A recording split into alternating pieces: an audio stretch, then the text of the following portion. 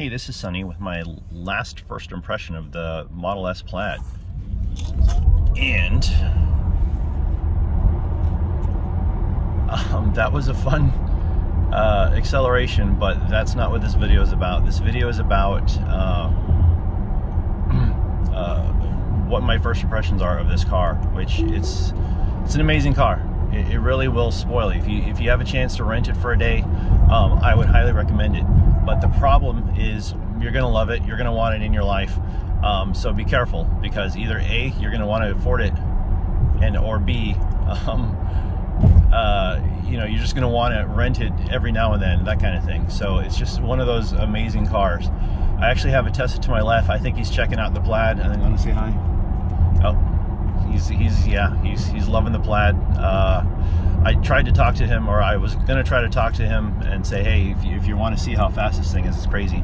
He's rocking a P90D, and uh, and you know, perhaps he saw how fast I took off, and just you know, was was thinking, hey, maybe I should upgrade. Um, but uh, anyway, so this is my impression. Um, it's it's a rocket ship, but it's a silent, refined rocket ship. Now I've got a cop here, so I don't know if I can I can keep doing this because uh, I think in New Jersey it's illegal to have a phone in your hand. So I'm going to restart this video. Okay, I'm back on. Uh, I continued on. I'm on a route that's basically a 55, 50 or 55 mile per hour route. I just set it on autopilot. I'm just going to enjoy. Um, there's a couple interesting things I think former Tesla owners will, will like to know about this car. But um, let me go back to my first point. It's an absolute rocket ship. Um, what people were telling me about it, you know, yes, the 0 to 60 in 2.0 seconds is phenomenal. It's just so effortless. It's kind of like the Corvettes of old, where they when they switched to automatic transmission, it was just so easy to drive, so easy to get that exhilaration. Now it's just a step up, right? Um, when you talk about 2.4 seconds, 2.6 seconds, what have you, you're really talking about a 10, 20, 30% increase when you jump up to the, the plaid. Um, I don't know what it's going to be like to drive a Roadster, if it's going to be that much better to do 1.9, you know, 0.1 second more. I don't know that it's going to, you know, justify a, double the price up to 250,000, but that's beside the point. This is an extremely refined car. So a couple of impressions. First of all, the background. I had a 2019 Model 3. got the least expensive one, just wanted to try it out, and sure enough, it worked well on the streets, but we just kind of stored it, didn't drive it too much, only did about 10K. Um, but when we sold it, we actually barely had any any loss. I think we sold it for 38.5 after we bought it for for 40, but then we had you know uh, the federal tax discount and other things that kind of we sort of made money on it. So we're very happy about that. I'm hoping this this stops. I'm not going to do anything. Yep, it stopped just a little aggressively. That was a little scary. Um, I don't think I've done stop and go from freeway traffic on uh, on autopilot yet on this, so this was something I had to pay attention to. Anyway, uh, let's see if it continues. Yep, continues without me um, hitting the the gas.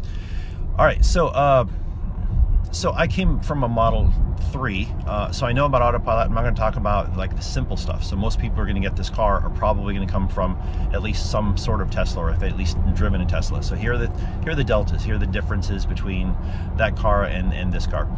Number one, um, I I wasn't from a Model S. I always thought, wow, wouldn't it, wouldn't this car be so much nicer if I had just air suspension? And I would always kind of eye the Model S's uh, and I'm not sure if the Model X's have it or not, but uh, I really do think the air suspension makes a lot of difference because right now our current daily driver is a Model Y Performance, and because of that, I'm actually seeing what people are talking about. Initially, I'm like, nah, this is not a rough ride when I was doing a test drive and then my first couple days. But now I'm starting to see that yeah, it's it's got a bit of a rough ride, right? Like, should I really keep the Model Y performance for a long time versus getting into maybe a Model Y long range? Uh, buy the acceleration boost and get that from 4.8 seconds down to 4.2 seconds for its 0 to 60 speed, right? And that costs $2,000 through Tesla. It's a software update. So I'm thinking 4.2 might be fast enough, especially if I get the softer wheels and I get the third row. Um, and, uh, you know, that might be the way to go, especially because in my area, in my uh, neighborhood, there's a lot of potholes, a lot, there's a lot of rough roads. So for us, maybe it makes more sense to to not have such an aggressive car. That being said, this car, I drove around our neighborhood, drove around Jersey. I did about 100 miles here um, while I've had it, and uh, the air suspension and having these tires, these 19 inch tires that I have on this version, uh, have been really smooth. Like I, it's a big difference. Like it's it's truly a nicer experience to be in this car from a suspension, from a ride comfort level. Um, let me just bounce around to a couple other things as I think of them. Uh, number two, the um, the seats have air ventilation. Uh, they say cooling. I'm not sure if it's just regular air or if it's actual cooling. But at the end of the day, I had that in my 2001 Lexus. And this is far better. Like you can truly feel it. And there's three levels. You can actually choose from one of three levels of that ventilation. Uh, and when I hit it on the highest, uh, and I'm usually wearing shorts, it's it's really noticeable. And I have a call, so I'm gonna restart again. Okay, to continue. Um, yeah, the ventilation is actually substantial. Like, I'm not sure, I, am not a luxury car owner. We have, you know, we had a Tesla for quite a while, and then most recently we bumped up to other Teslas. So I haven't been in the luxury car game for a while. Uh, maybe that's impressive to some people who also have ventilation or not. I just find it a nice thing to have. Um, big one is a steering wheel, right? Um, so from a steering wheel perspective, it has been interesting. Most everybody I've brought out or tried the car, they love the steering wheel. For me, it's a love-hate. It's it's. I know there are some things uh, I love about it. For instance, I can see this dash really well. That's amazing, right? Um, hold on, I gotta Slide right toward here. Millbrook Avenue. Signs um, for Millbrook Avenue, then turn right onto but Millbrook as you can see on this turn, I only had to do it, you know, maybe less than 90 degrees, right? And so as I did that, that's not a big deal because I could just hold one side. But it's these bigger ones that are the problem. So like this is going to be an aggressive 90 degree turn. So do I hold my hand here and do this? Um, that's kind of weird. So I don't know if the answer is yes. So I'm going to do another one here. I'm going to hold from the bottom and pull over the cross. And that I feel is more natural, but I'm not there yet where it's like, okay, I know exactly what I'm going to do, how I'm going to do an aggressive turn, and you know, it's it's not just natural yet, and it's it's going to take more than a day. I think it would come. Uh, I think people, other people who've done reviews have said, you know, uh, it's it's it's great. So nobody has said that, but I find myself oftentimes getting in the car, wanting to reach up here, and boom, there's nothing there, you know, and, and including during turns. So for me, there's going to be a bit of a um, a learning curve there, but I'm I'm looking forward to it. It's still great in other ways because number one, again, the, seeing the dash there, seeing the visuals on the Model 3, you would have to look over to the side to see the visuals of what other cars are around you as a first guide. Um, and this one here, you can kind of see it right in front of you, and all the other information, including the mini map. That's all great just to have in a closer to the field of view of where your your eyes are supposed to be. So it's just nicer in that sense. Um, second thing is when you're going to zero to 60, you kind of want to hold on to something. You want to just grab onto, you know, a handle. I literally have told people, hey, you need to put your head back before I, you know, go zero to 60. And uh, I think it has worked out well because this thing is just whiplash, you know, waiting to happen. Um, so holding onto it with two hands when you do it is, is quite nice. You know, as I tell my kids and other people like this is the kind of steering wheel they have in you know airplanes and it, it really does kind of come in handy in some respects uh, let's think of other other things that are interesting about the car uh, another thing i didn't like is the other day i brought in a, a wired uh, a usb-c cable and like the Model 3 and the Model Ys, I thought, okay, it'll just have a port back there. And I just couldn't find the port. Maybe it's there, maybe it's not, but it's not easily found. I mean, it does have the wireless charging ports up here in the center console, but you know, I would like to be able to have a, a wired thing. One, because uh, I'd like to be able to charge my, my phone faster than wireless. And number two, I understand a lot of these ports are you know, strong enough to uh, power uh, a laptop or at least keep it not uh, dropping, meaning it's not going to charge the battery in a laptop, but it might be enough juice to um, to keep it from low lowering. So if you have it at 20%, you know, you plug it in, it'll stay at 20% for an hour, that kind of thing, right? So, um, I didn't see that right away. It's probably there somewhere. Um, it's not like I did a ton of research before uh, getting and use, starting to use the Model S Plaid. That's what you usually should do. Uh, but this this video is more of an impressions thing. This is uh, intended for people who are thinking about buying it, thinking about upgrading, and these are my thoughts after a day with it. Um, so let me go back to the rocket ship thing it's just so nice to be able to go, you know, whatever speed. Here I'm going 42. I wish I could gun it, but you know, like, there's a person who turned in just just now. I don't want to, you know, be super unsafe. That being said, if you're the kind of guy uh, or gal that is, you know, likes to gun it, um, you can get yourself in real problems here. Like you, you can get to 70 or 100 so quickly, like I did in my first couple videos, that, you know, if you're being aggressive and you're not being smart about it, you can get in real danger and you can really kill somebody quite easily and maybe yourself. So it's just so effortless to get to get fast in this thing. Um, next comment I'll have is the autopilot. So in the Model 3s and the Model Ys, I think they've they've removed one of the types of radars. And so I think initially, you know, things are things are kind of coming up to speed on it. And initially, wow, my Model Y was just uh, a wreck in terms of autopilot after it, uh, you know, first got to the point where I could use it.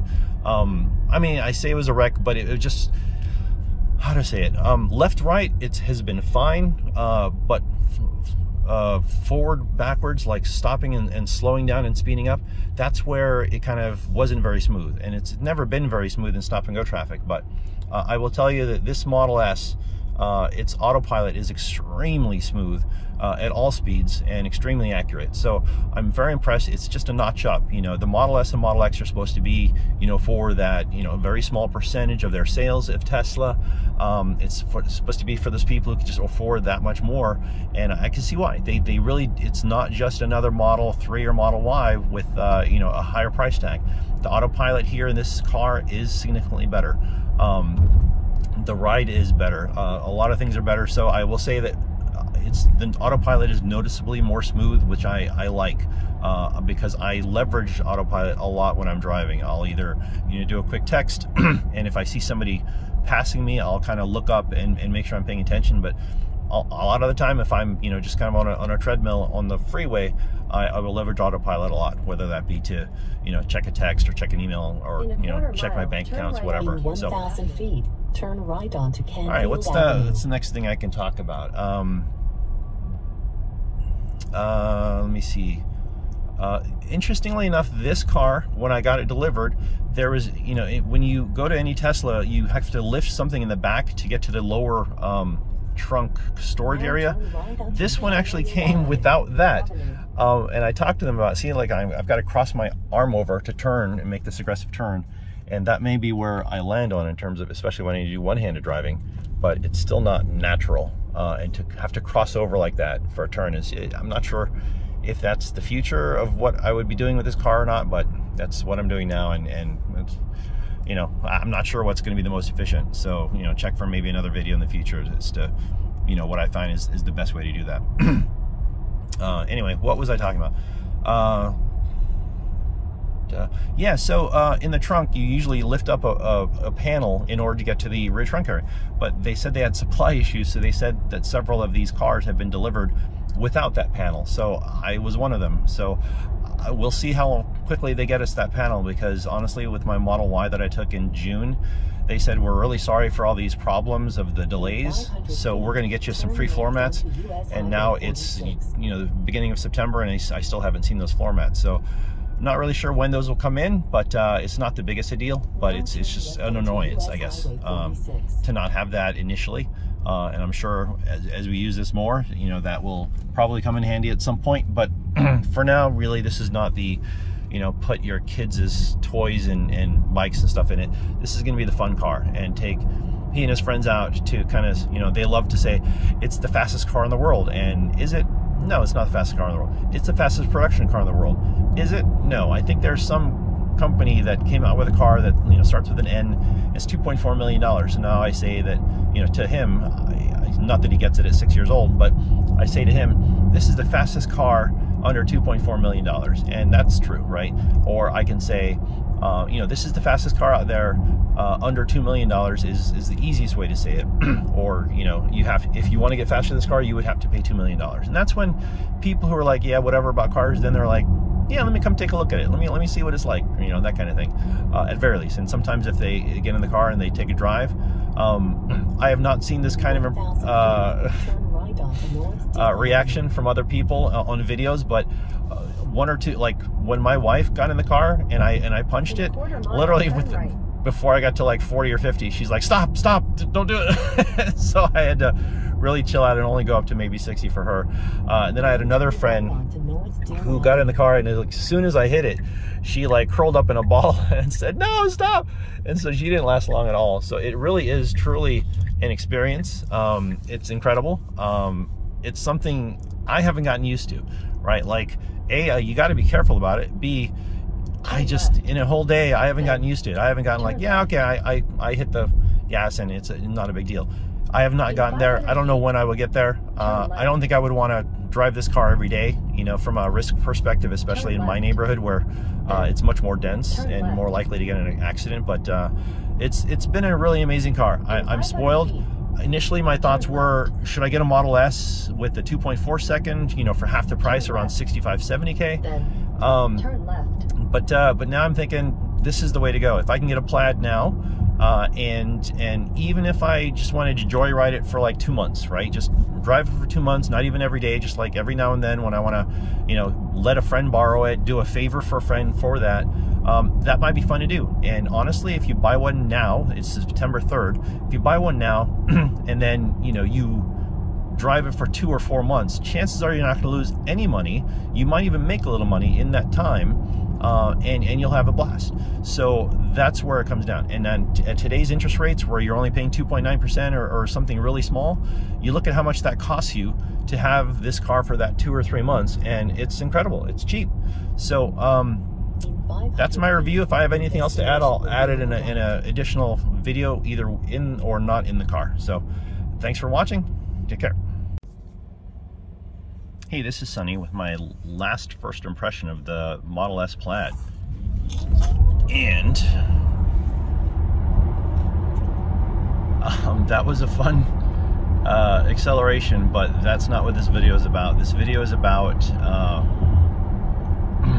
uh, what my first impressions are of this car, which it's it's an amazing car. It, it really will spoil you. If you if you have a chance to rent it for a day, um, I would highly recommend it. But the problem is you're going to love it. You're going to want it in your life. Um, so be careful because either A, you're going to want to afford it, and or B, um, uh, you know, you're just going to want to rent it every now and then, that kind of thing. So it's just one of those amazing cars. I actually have a Tesla to my left. I think he's checking out the Plaid. I think I'm going to say hi. Oh, he's he's yeah, he's he's loving the Plaid. Uh, I tried to talk to him, or I was going to try to talk to him and say, hey, if you, if you want to see how fast this thing is, it's crazy. He's rocking a P90D, and uh, and you know, perhaps he saw how fast I took off and just you know was was thinking, hey, maybe I should upgrade. Um, but uh, anyway, so this is my impression. Um, it's it's a rocket ship, but it's a silent, refined rocket ship. Now I've got a cop here, so I don't know if I can. If I can keep doing this because uh, I think in New Jersey it's illegal to have a phone in your hand so I'm gonna restart this video